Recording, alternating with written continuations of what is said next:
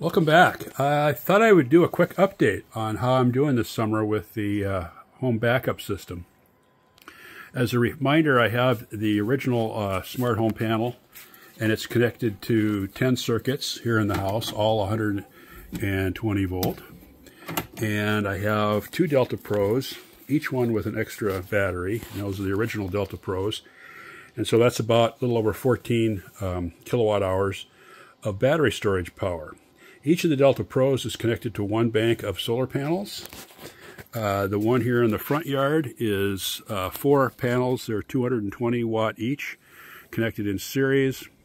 And I've been getting 600 plus watts out of them pretty much all day long.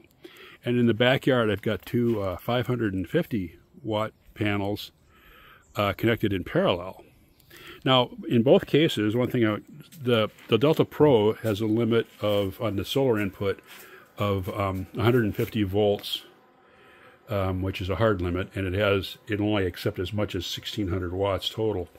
So I'm well under that for both of these, but what I've, what I've done, and I kind of did that on purpose, I'm getting started small, but I, was, I limited myself to an eight foot long piece of wood there. So my base of my stand is eight foot in width.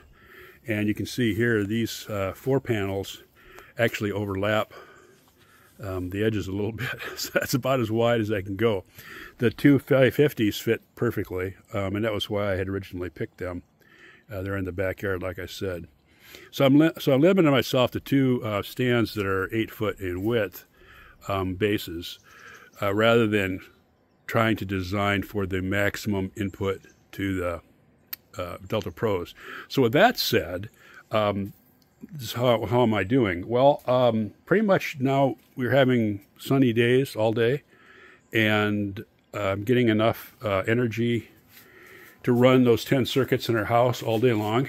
Um, I sometimes, around 5, 6 o'clock at night, I check in if the batteries are dropping down to like 70% or so, then I'll turn it onto the grid for the night but otherwise, I'm running the batteries like all day long, and I'm gradually gaining. So we're using, I'm using about, in the middle of the day, I'm using about um, as much energy as one of my two stands can produce. So the other stand is then actually increasing.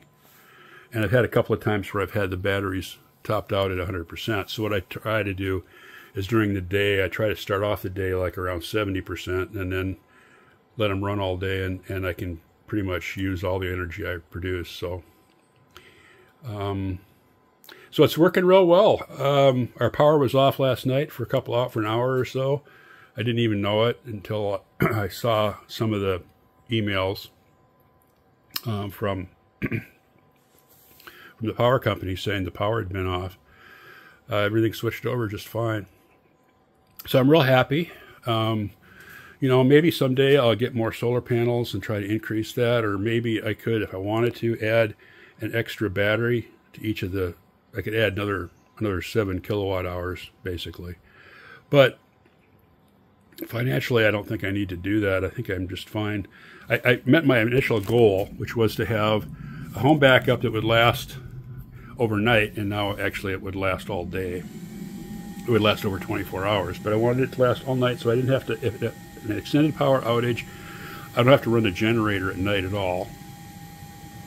And then the solar is just like a little bonus, or I'm making a few dollars um, by generating my own electricity. So I wasn't intending to um, do anything other than that, and so I've met that goal. And so I'm quite happy. Uh, the app's working fine. The Delta Pros are working fine.